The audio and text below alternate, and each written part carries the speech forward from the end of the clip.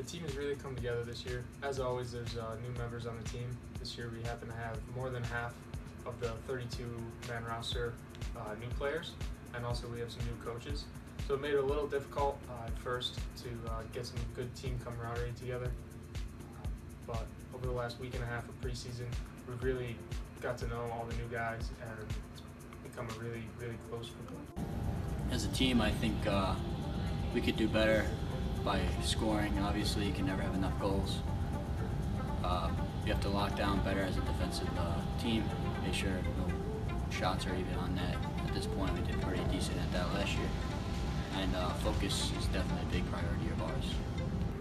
As one of the uh, leaders on the team, it's uh, very important for the team to stay focused uh, before game.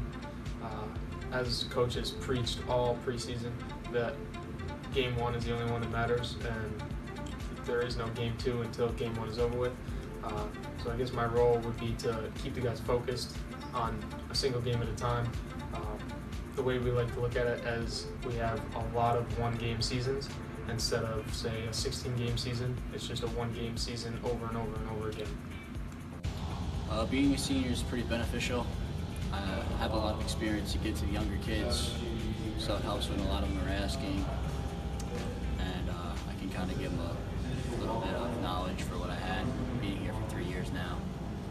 So having a high ranking is very nice to see, but at the end of the day, it doesn't really mean anything.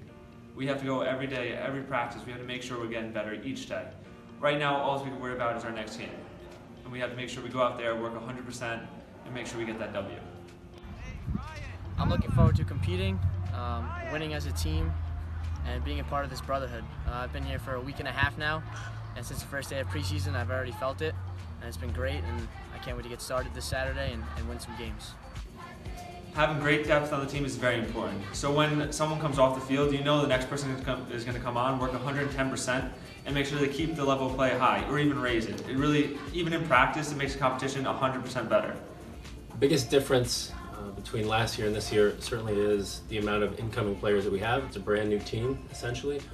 Uh, we've got familiar faces with, with 15 returners, but um, at the end of the day, with the amount of incoming kids, um, you know, 17 new players, it's a brand new team. And so we'll see how they come together. We'll see if they're ready to compete, if they know how to win games together. Um, right now, we're still kind of in the process of coming together as a team, understanding each other, um, building the trust, building the relationships that ultimately I think are going to help us win games. Um, but because we haven't played a game yet, uh, time will tell.